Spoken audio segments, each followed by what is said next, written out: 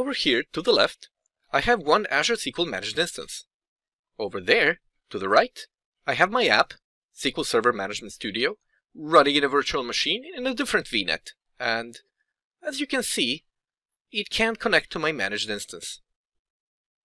So let's create a private link from the instance to the app's VNet. There are several ways to do this, but I'll go to the instance, select Private Endpoint Connections, and hit the big plus. In Basics, we name the endpoint and define its region. This should be the region of the virtual machine's virtual network. In Resource, Azure already knows which managed instance we're patching into, so a quick confirmation and we can go on. In Virtual Network, we tell Azure where the private endpoint, or the other end of the cable, is to go. We'll place it in our app network and subnet. In DNS, if the DNS integration is enabled, select Yes. Otherwise, we'll set it up by hand. In Review and Create, I kick it off and wait for the endpoint and the link to go live.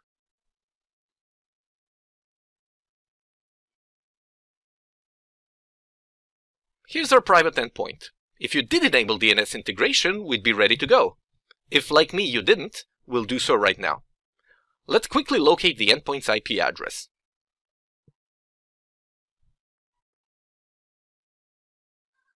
Network interface, and look for it next to the private IPv4 address label.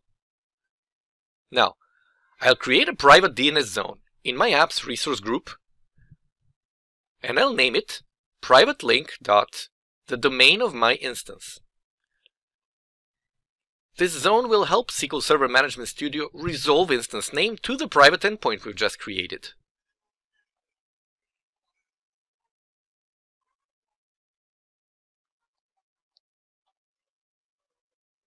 Now, I'll add a DNS record mapping the hostname of my instance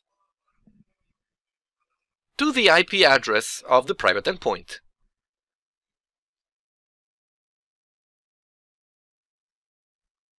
Finally, I'll attach this zone to the app's network. In Virtual Network Links, give the link a name, and select the virtual network where our application is. Now we're good to go. Let's try to connect. And we're in.